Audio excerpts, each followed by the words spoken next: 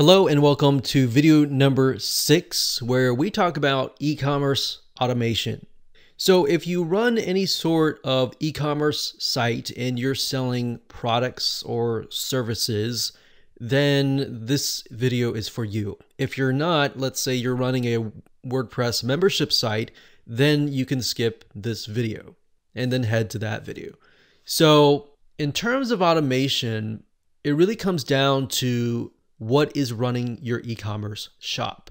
If you're running an e-commerce shop utilizing WordPress, you're most likely going to be using WooCommerce simply because it is one of the best and it is leading and it is actually run by the people who run WordPress.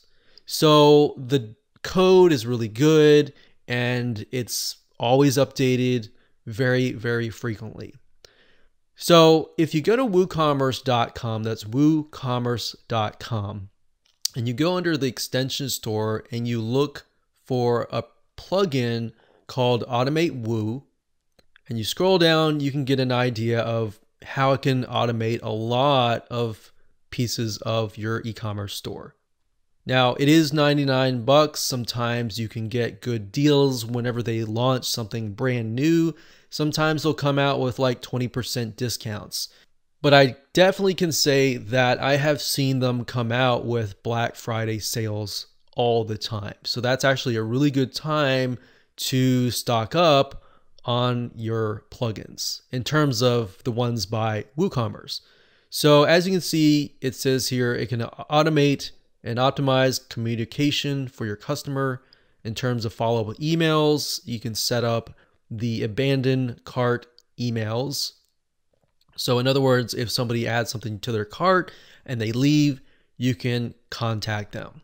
So, here are other features that AutomateWoo has.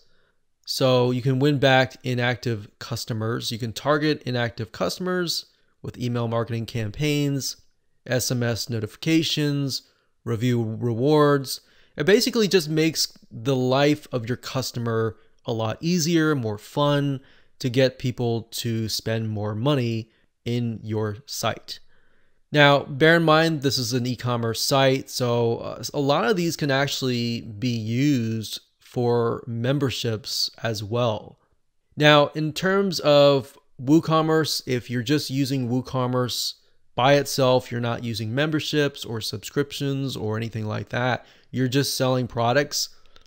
Another option that you can take to automate specific tasks that you need is by simply by going to Zapier.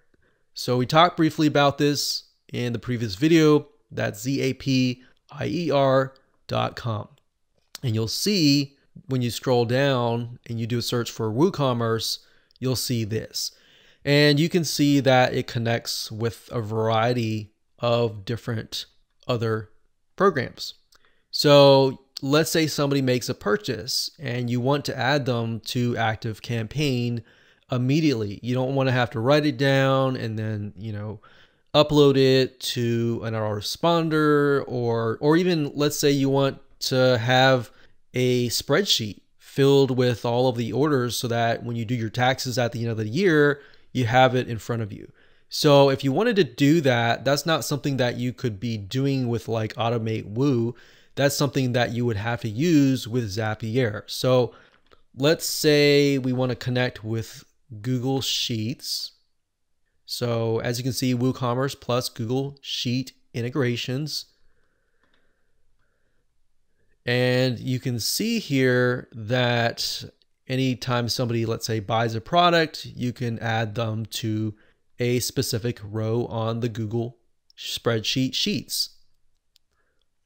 So it really comes down to what are tasks in your business that are just taking a lot of time.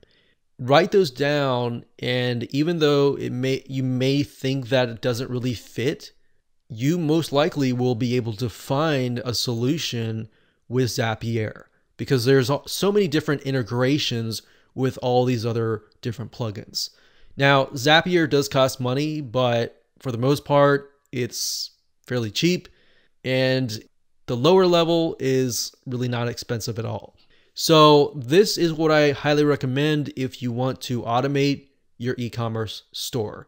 There are plugins out there, but at the end of the day, it really depends on what you, as a business owner, as an e commerce shop owner, needs to automate.